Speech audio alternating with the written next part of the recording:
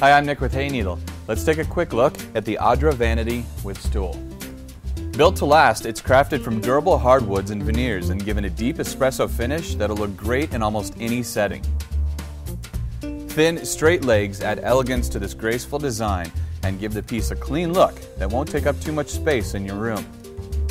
You'll also love other features like the trifold mirror that gives you every angle, three spacious drawers that make the perfect home for all your styling necessities, and the generous top that gives you plenty of room to get ready.